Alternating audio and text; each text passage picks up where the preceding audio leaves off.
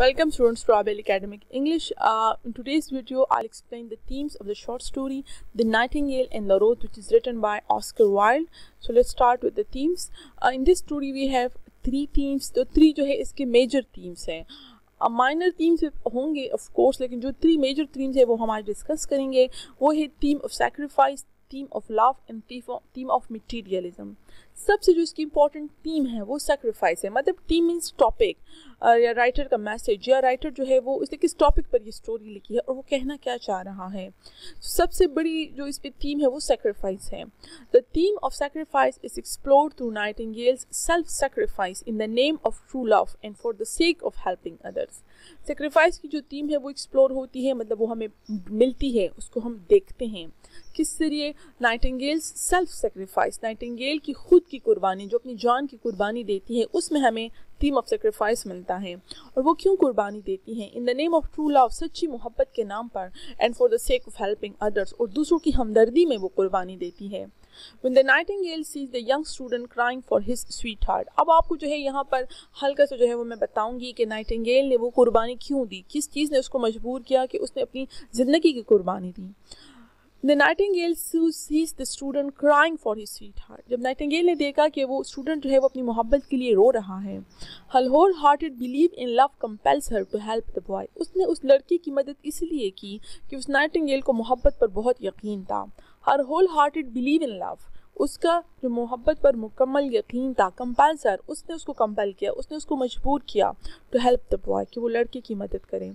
So she decides to help him बस उसकी मदद करने को डिसाइड करती हैं and goes out in search of a red rose red rose की तलाश में निकल जाती हैं।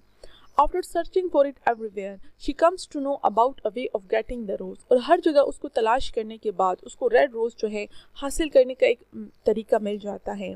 She has to give her heart's blood to a white flower and make it red उसको क्या करना होता है?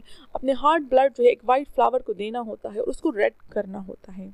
She believe that it is worth giving her life for the sake of true love और वो इसकी कुर्बानी देती है कि वो यकीन रखती है कि सच्ची मोहब्बत की खातिर कुर्बानी देना बिल्कुल सही है। As we know that Nightingale has an unshakable believe in love जैसा कि हमें पता है कि नाइटिंगेल का मोहब्बत पर जो यकीन है वो अनशेकेबल है, वो बहुत स्ट्रॉन्ग है। Because of which she sacrifices her life जिसकी वजह से वो अपनी ज़िंदगी की कुर्बानी देती है। But at the end of the story nobody appreciates her sacrifice in कहानी के आखिर में कोई भी इसकी कुर्बानी की कदर नहीं करता। एंड इट इज़ वेस्टेड और उसकी कुर्बानी ज़ाया हो जाती है। When the student throws the red rose in the gutter where it is destroyed, जब स्टूडेंट जो है, वो रेड रोज एक गटर में फेंक देता है, जहाँ पर वो डिस्ट्रॉय हो जाता है। कोई भी उसकी कुर्बानी की कदर नहीं करता। तो इस कहानी में जो है, हमें सेक्रीफाइस के बारे में बताया गया है कि किस तरह नाइटिंगेल सेक्रीफाइस करती है, लेकिन कोई भी इसकी कुर्बानी की कदर नहीं करता। Our next theme is theme of love. The story the Nightingale in the Rose is about the nature of love Nightingale in the Rose की जो स्टोरी है, वो मोहब्बत की नेचर के बारे में है। उसमें हमें मोहब्बत के टॉपिक पर जो है बात हुई है। In the beginning of the story कहानी के शुरू में the student claims to be in love with his professor daughter student जो है, ये दावा करता है क्लेम्स मीन वो दावा करता है to be in love with his professor daughter कि वो अपनी प्रोफेसर की जो डॉटर है, उससे मोहब्बत करता है। And is crying for a red rose और वो रेड रोज के लिए रोता है। Because he will dance with her in the ball if he gives her a red rose क्योंकि वो उसके साथ बाल मीन डांस पार्टी वो तभी उसके साथ डांस पार्टी में जो है, वो डांस कर सकता है अगर वो उसको रेड रोज दे दे। Red rose is symbol of true love इस स्टोरी में रेड रोज जो है, वो ट्रू लव का एक सिंबल है। ट्रू लव की एक अलामत है। रेड रोज मोहब्बत लव जो है, वो रिप्रेजेंट करता है। कहानी के शुरू में स्टूडेंट जो है, वो रेड रोज़ के लिए रोता है। बिकॉज़ रेड रोज़ का मतलब ये कि वो अपनी मोहब्बत के लिए रोता है। रेड रोज़ का मतलब ये, अगर उसे रेड रोज़ मिल गया तो उसे यकीन है कि उसे वो लड़की मिल जाएगी। तो रेड रोज़ जो है, वो ट्रू लव का सिंबल है। Moreover the Nightingale sacrifices her life for the sake of love Nightingale की जो कुर्बानी है, वो मोहब्बत की खातिर है। She thinks that it is worth sacrificing her life for true love वो ये समझती है कि सच्ची मोहब्बत की खातिर ज़िंदगी कुर्बान कर देना बिल्कुल ठीक है। दिस सेक्रीफाइस शोज़ उसकी जो कुर्बानी है वो शो करती है। The true love does exist but at the end no one appreciates it अगर हम इस स्टोरी को एज अ होल ले लें और इसमें समझें कि इसमें वो राइटर जो है, वो मोहब्बत के बारे में हमें क्या बताना चाहता है। So we come to know that Nightingale is the only character who believes in love and who really appreciates love वो नाइटिंगेल वो मोहब्बत से इंस्पायर है, वो मोहब्बत पे बिलीव करती है। तो उसकी कुर्बानी ये शो करती है कि मोहब्बत जो है इस दुनिया में मौजूद है but at the end no one appreciates it लेकिन का, लेकिन आखिर में कोई भी मोहब्बत की कदर नहीं करता, बल्कि इस स्टोरी में वो पैसे के पीछे जाते हैं, जो हमारी नेक्स्ट थीम होगी। While is trying to convey the true love does exist while ये कहना चाहता है वाइल मीन्स ऑस्कर वाइल इस कहानी का राइटर ये कहना चाहता है कि मोहब्बत तो मौजूद है but people make it shallow and selfish लेकिन लोग इस मोहब्बत को शैलो और सेल्फिश बनाते हैं। शैलो खोखला, उसको अंदर से खाली बनाते हैं। मतलब वो उसकी कदर नहीं करते हैं। एंड सेल्फिश और मोहब्बत खुद गर्ज होती है आजकल के लोगों की, इस दुनिया के लोगों की। The student who thinks that he is in love does not truly know the meaning of love. वो स्टूडेंट जो ये समझता है और शुरू में रीडर्स भी ये समझते हैं कि वो मोहब्बत करता है एक्चुअली उसको मोहब्बत की मीनिंग भी पता नहीं होते हैं When the girl rejects him and his red rose, जब लड़की उसको और उसके रेड रोज को रिजेक्ट करती है he calls her ungrateful. तो वो कहता है कि वो ungrateful है and says that love is silly and unpractical. और वो कहता है कि मोहब्बत, बेवकूफ़ाना चीज़ है सिली चीज़ है अनप्रैक्टिकल चीज़ है unpractical that love is not real it is not something existing in this world मोहब्बत का वजूद ही नहीं है और ये अनप्रैक्टिकल है। इससे कोई फ़ायदा नहीं है।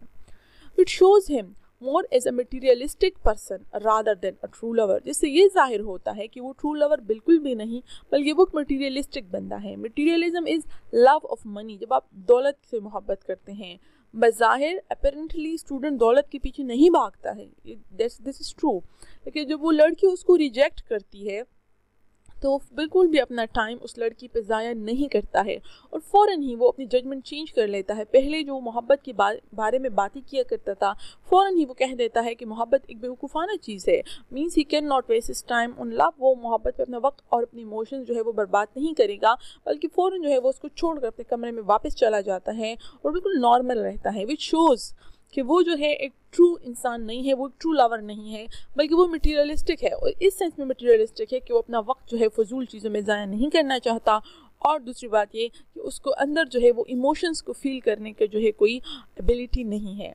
So that is theme of love actually now will move towards materialism materialism जो है वो लव ऑफ़ वेल्थ है मटीरियल से निकला है, चीज़ों से निकला है। जब इंसान इस दुनिया की चीज़ों से प्यार करता है The theme of materialism is explored by the human characters. All the three human characters that are they are materialistic. The young student, professor's daughter, and Chamberlain's nephew are materialistic in some sense. तीनों जो human uh, characters है student professor की बेटी और चैम्बरलाइन के नेफ्यू वो तीनों जो है किसी न किसी तरीके से मटीरियलिस्टिक है the student who claims to be in love is not really in love अब स्टूडेंट की बात करते हैं कि वो किस तरह मटीरियलिस्टिक है, वो जो मोहब्बत का दावा करता है, हकीकत में मोहब्बत को नहीं समझता। For him a red rose is worth more than nightingale life and true love उसके लिए रेड रोज़ जो है, वो नाइटिंग की ज़िंदगी से ज़्यादा कीमती है। When the nightingale sings a song he says that her voice is beautiful but shallow and lacks any emotions which shows that he is a materialistic person who is unable to feel deep emotions जब nightingale उसके लिए कुर्बानी का फैसला कर लेती है तो औख का दरख्त नाइटिंगेल से कहता है कि मेरे लिए आखिरी गाना गा लो। और नाइटिंगेल जब वो गाना गाती है तो वो मोहब्बत के बारे में होता है और उसकी सॉन्ग जो है वो इमोशन से भरपूर होती है। लेकिन जब वो स्टूडेंट वो गाना सुनता है ही सेज दैट तो कहता है that her voice is beautiful कि बेशक नाइटिंगेल की आवाज़ खूबसूरत है बट शैलो लेकिन वो अंदर से खाली है, उसकी आवाज़ में कोई डेप्थ नहीं, कोई इमोशंस नहीं एंड लेक्स एनी इमोशंस और कोई इमोशंस नहीं which shows that he is a materialistic person ये ज़ाहिर करता है कि वो मटीरियलिस्टिक शख्स है who is unable to feel deep emotion जो डीप इमोशंस को समझ नहीं सकता। On the other hand, his love, the professor's daughter, also shows materialism by rejecting the red rose. दूसरी सूरत जो लड़की है प्रोफेसर की बेटी है वो भी मटेरियलिज्म शो करती है क्योंकि वो रेड रोज रेड रोज को रिजेक्ट करती है। She thinks that precious jewels are more worthy than a red rose उसकी नज़र में उसके ख्याल में जो कीमती जेवरात होते हैं वो रेड रोज से कहीं ज़्यादा कीमती होते हैं और प्रीशियस होते हैं। उसके लिए मोहब्बत की अहमियत नहीं है उसके लिए पैसे की और ज्वेलरी की अहमियत है।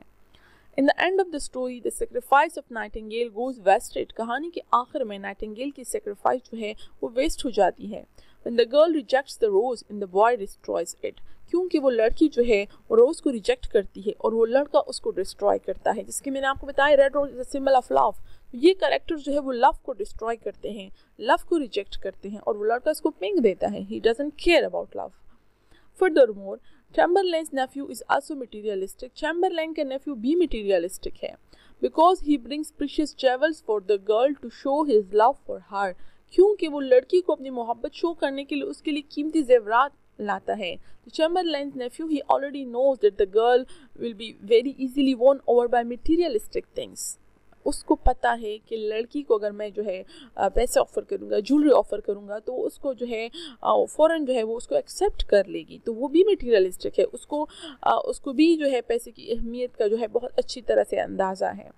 Love is shown as a material pursuit rather than a true emotion by these characters और ये जो स्पेशली ये दो करेक्टर्स हैं प्रोफेसर की बेटी और चैम्बरलेंस नेफ्यू इन दोनों की जितने भी जो है वो जिस तरह की जो है इनका करेक्टर है, इससे साफ़ पता चलता है कि मोहब्बत इनके लिए एक मटेरियल परसूट है। पैसे की तलाश के एक ज़रिया है।